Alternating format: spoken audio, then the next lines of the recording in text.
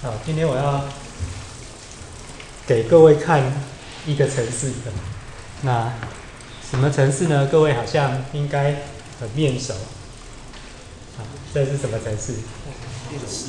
四川，城市里面的小画板，对不对？OK，好，那它可以做什么？呃，当然从前我们我们视窗里面已经有做一版，对不对？啊，所以没什么，但是我们把它改一下。那我今天这样写哈，一，好，解答，OK，一，清楚，二，解答，清楚。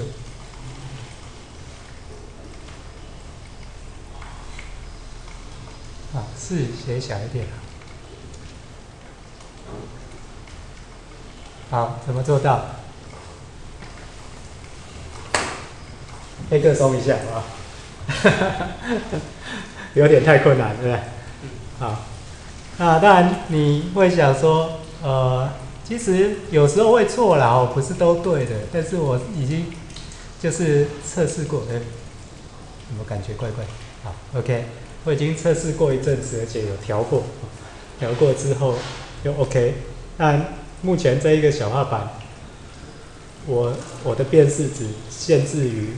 数字，好，阿拉伯数字，啊，你写国字他也不认识，啊你可以想一下怎么做这件事，啊，你有的线索是什么？你所拥有的线索就只有这一个图，其实不是图，对不对？因为，呃，各位知道手写辨识跟光学辨识。两者之间有个差异，差在哪？光学辨识呢叫 OCR，OK，那手写辨识我们通常比如说 handwritten、gesture recognition 之类的，那这两个技术之间有一个明显的差别。各位所使用的 Android 的手机、iPad 里面都有这种。手写功能了，对不对？OK，好，那种算是什么？手写还是光学辨识？光学。那种是手写。手写。OK。如果在你那边多了一个点会怎样？你说这边多一个点，就是在右下角多一个点。这边多一个点，好，试试看。辨识。OK。呃，所以你要看，哎，它到底是根据什么判断的，对吧？好，那我再清楚一下。好，如果我今天呢写八，写的不像八行，写这样。嗯。好，它还是对了，但是呢，像刚刚讲的，哎，我在这里加个圈，变五了。那我最后一定会给个数字，我这个程式没有考虑，就是说，哎，我我认为你什么都不是。啊，这个程式根本就没有考虑，因为他是找最像的一个，就输出了啊。啊，最像的一个到底是谁？一定会有个最像。那即使有两个最像的，那他也会取其中一个。对。所以这种这种程式叫做手写，因为你的辨识的过程是，诶，这个轨迹。哪边先哪边后的那个资讯是保留的，所以你的辨识的的那个对象其实是一个轨迹，而不是一张图。啊，是一个轨迹的辨识对象是一个轨迹的这种其实是手写，因为你在手写的过程当中，这个轨迹保留下来。但是呢，光学辨识是说，OK，我给你一张影像。那你要辨识出里面是什么字？那光学辨识通常不只是一一个字，因为光学辨识 OCR 的时候，它就是给你一个一本一张一张一满一满字的的图片，然后你要把里面的每一个字都切出来，然后呢，去认出每一个字到底是什么。好，这种叫做光学辨识。所以我们今天所做的这个是手写辨识，不是光学辨识。那我们为了要简单起见，我们把它锁定在只有数字而已。好，那你们有没有想到什么方法可以用来做这个事情？我们这学期不是有讲过很多种方法，但是好像每一种方法，呃，我们似乎不容易想到跟这个东西扯上关系，对不对？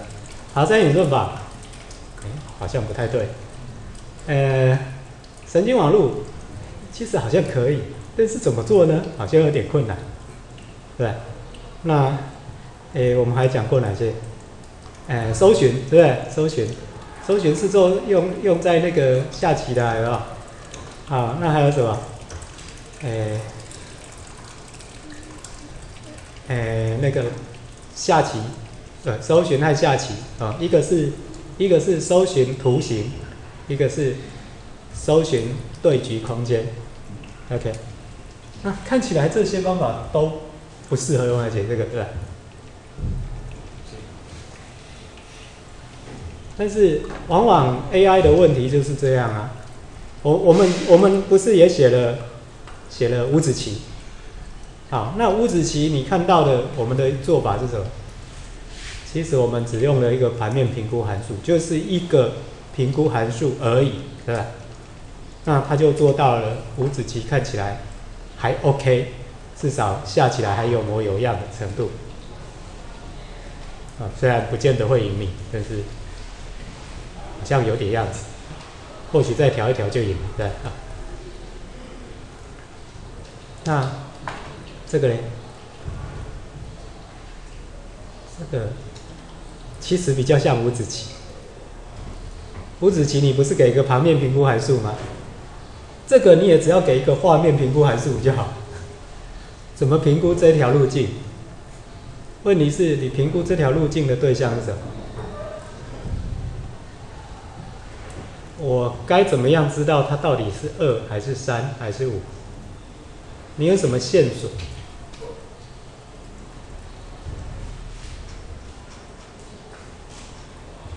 哪些线索可以用来做手写数字辨识？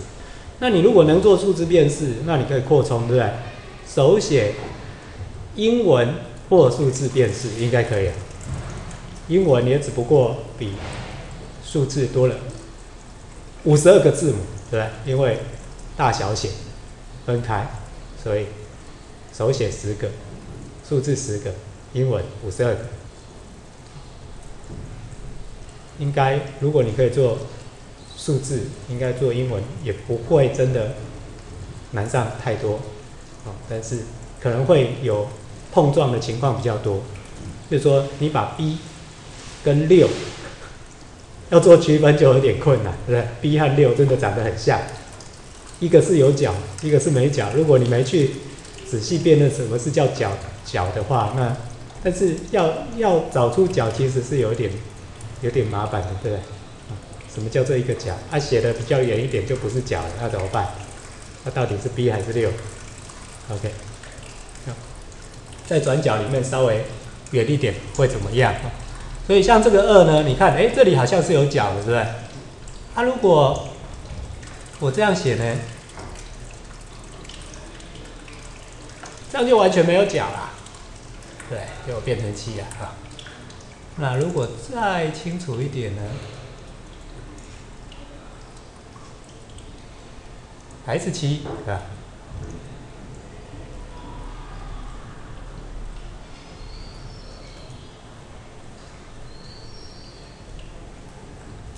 什么时候会变成二？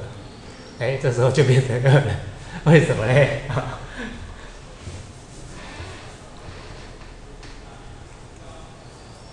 啊，再来一个，哎，我写大大的可以，我写小小的可不可以？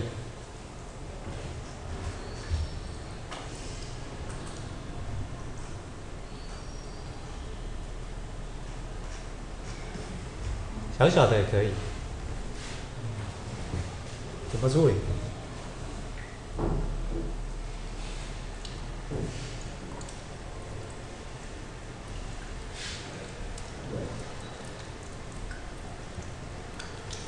有没有想法？有没有想法？你会怎么做？你会怎么做？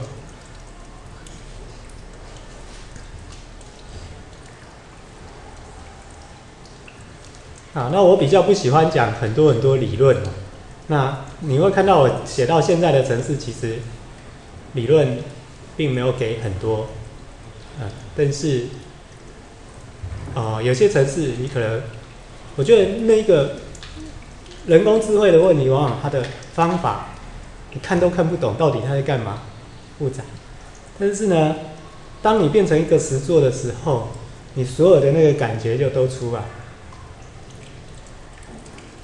所以我比较不喜欢说 OK 从理论入手，然后那个我比较喜欢，我先给你一个问题，我告诉你 OK 我做到这样，那你去想办法，你去怎么做？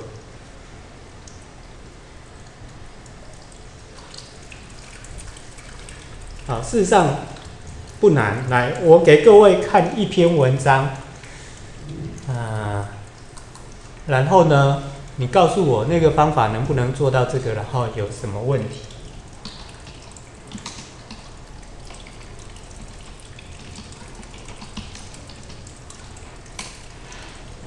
哎，在麦地，哎，麦地，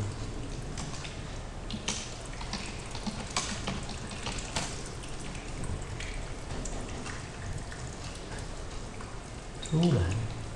看不到，是连在一起。好，有了。来，这个是谁嘞？不出柜，他是个高中生。哎，他他有把那个这一个网站都授权给我们的杂志看，所以我每个月几乎都看他一篇。不过好像最近也看不到什么。什么文章要看的？不过前几天我看到这一篇，我觉得影像处理探讨便是图片中的阿拉伯数字，它是图片哦，它不是手写，它是欧西亚，但是它又不是欧西亚的整篇，它是一个字。好，那他怎么做？高中生会做啊。可是你你去想想看，他的方法，你你还没看到之前，你一定会觉得哇，这是一个什么神奇方法呢？对？但是呢，你看到的方法，你会会吓呆，怎么会这样子做？但是，但是可不可以在在某种条件情况下可以？什么条件？啊，看一下。来，他说，呃。针对阿拉伯数字，我们可以透过属性的观察，但是数字的形状、字体变化多端，所以想出一套很消极的办法。这个消极的办法就是统计数字占的颜色数量。那什么意思呢？如果如果今天不考虑三个，就是多种颜色的话。那就黑白嘛，其实手写电视也只要黑白，有颜色就算一，没色颜色就算零。如果你这样来看的话，那一就一有几个点？那你说这样会准吗？来看一下哈，一有几个点？那你看啊，假设数字一的大小为七个点啊，数字二的大小为哇十个点啊，数字二的大小为七个点。其实应该反过来，因为二比较长啊。然后，然后它们颜色占有量相同的话，就会互派。那它颜色占有量怎么做呢？你看这里，它怎么做？其实它有分 RGB 的哦，但是其实我觉得这个方法根本不需要分 RGB 哦，你就全部把它当成零和一也可以。那结果会怎么样呢？你看，它最后呢，case black 七六零一的话，它就说认为是零；五四一七的话，它就认为是一；六零六一就认为是二。然后呢，只要不是这十个数字呢，它就认为无法辨识。够简单了吧？你会想过用这么简单的方法吗？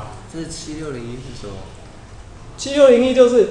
他先载入一个样本，对不对？啊，然后去算，哎，这个样本到底它的它的点数是几点？其实它是用浓度值啊，但是如果更简化一点，就是点数几点？如果点数是七千六百零一点，黑色，我就认为是零。七千六百零一点，对，在整张图片，整张图片可能有一万点，啊，或或或十万点，对，有七千六百零一点是黑色，我就认为是零。有那么刚好吗？这就是问题，对不对？对啊，当然很不可能那么刚好。对啊。可是问题是，如果你就是 copy 那个图片，那肯定是刚好，哦，对吧？这样也太死或者是你只是把那个字用用小画家把它移动了一下，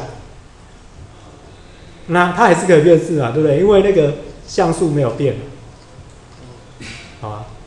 啊，但是如果你之后后面再加一个黑点上去，它就变七六零二，它就变不出来，对啊。够简单的方法。了解。OK，那这种方法就是固定死的，对不对？所以它不够好。那你有没有办法想出一个方法，跟这个很像，但是呢，比它表现的好得多？那这个七六零一，它那个点，它是用，它是用视觉下去看的、就是用程式下去数。你看，它从零数到四千，对不对？再从零数到四三六五嘛，它连图片大小都是固定的啊。对啊。然后呢，就每个点都算啊。Step 为什么是十五？我也搞不懂。我没有很仔细的去看它的程式哦。为什么 Step 是十五？照理讲，每点都数就好了。那他这边在做的，我觉得反而看不懂，但是更直觉的就是你数点数嘛，啊，你数点数，因为他可能因为因为这个有三个颜色的关系，所以他还去处理，但是事实上你只要数点数就可以，他的做法基本上就是数点数的方法，而且是精确的，一点都不差。那你有什么办法让它变成可以容错？比它这个好，容错性高，容错性高就是我稍微少一点多一点，还是可以变得出来。你看这十个数字，其实其实像这个七六零一，那这最接近的是七三八八吧，还有七四七二嘛，对不对？那我只要在那个认觉，对在，比如说我只要超过七千五的话，我都认为是七六零一可以啊，嗯，都都认为是零，可以啊。那我要怎么去做这件事？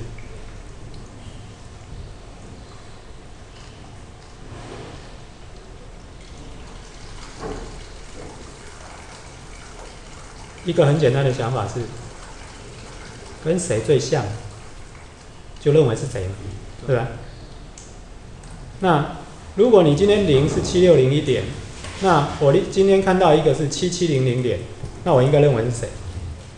零嘛，对不对？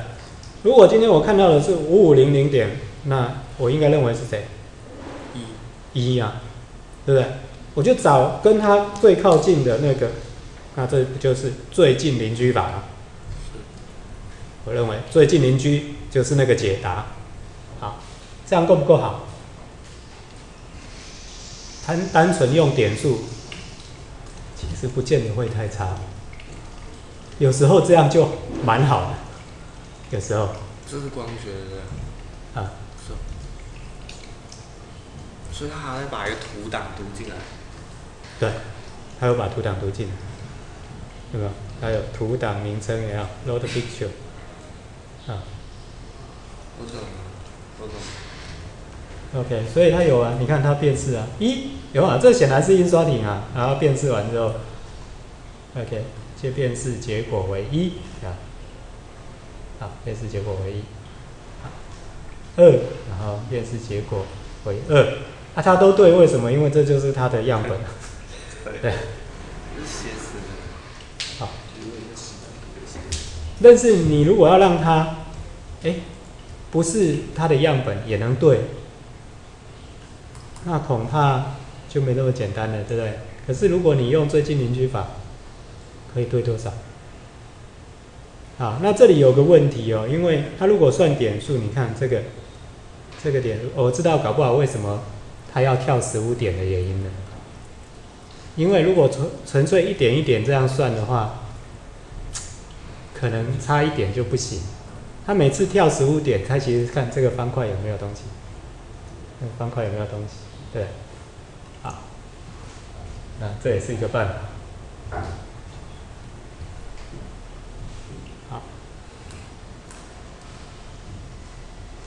，OK，所以你可以用很简单的方法，但是没容错。那你也可以用很简单的方法，但是有容错。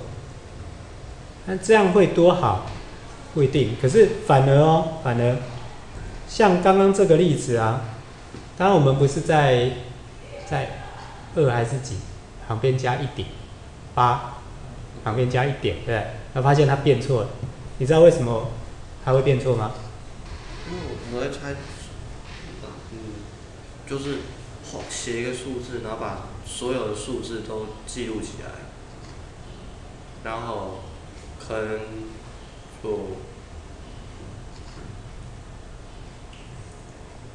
啊，我告诉你我的，数字很像一个数字。我告诉你我的答案，因为你不是设计这个，你绝对猜不到为什么会变错。因为我考虑笔画数，啊，那多了一点，其实是多了一个笔画，哇，那不得了，那差很多。我考虑笔画数的结果差了一点，其实是差非常多的，因为笔画数不一样。不是都是一每个都笔画啊，你多了一点就变两笔画，哦，对不对？哦，啊，啊，两笔画的呢，大概只有四和七，对不对？七如果有写这边的话，就是两笔画。哦，四、七还有没有？一二三四五六五，四七五这两笔画，哦对，对。啊，其他阿拉伯数字都是一笔画，所以光是靠笔画数就可以把它分成两群了，而且分得还不错。对。好，但是我不是用分群的，我是怎么做？我算相似度，但是又考虑笔画数，还考虑什么？考虑路径长度。我不是考虑像它那个浓度，我是考虑路径长度，就是这一条线到底有多长。可是问题是你一定会想说，那这个小的，不是路径长度就会差很多吗？但是我是考虑什么呢？我先去切切一个外框，就是说有点的我才算。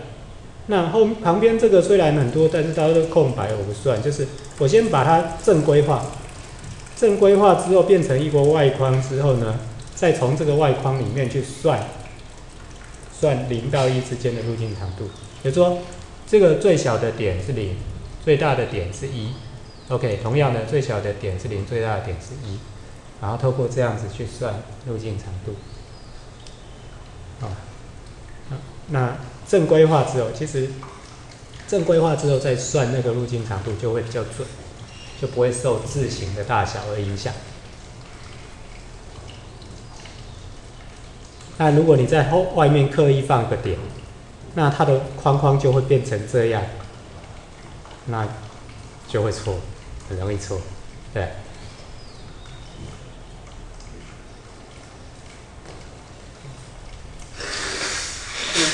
好，那这是第二个因素。我目前的城市考虑三个因素，哪三个？一个是笔画数，一个是路径长度，第三个呢？各位想想，阿拉伯数字里面有什么样的特征可以用来区分数字之间？啊，你那个特征最好是很明显的。然后这个数字跟那个数字之间就是很很明显的差异，那但是同一个数字呢却是很稳定，这种特征。那以我的观察而言呢，哪一个特征可以呢？起始点其实不好，因为起始点大家都从上面，啊，那虽然有一点左边有一点右边，但是差异不大。结束点却是很明显的有差异。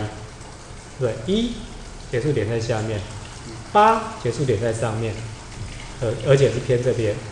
OK，三结束点在这个下角，啊，四结束点在中间的偏这里，对吧？所以结束点是一个不错的判断。好，我就用这三个特征去判断，那出来的结果就是你现在看到的这个程式。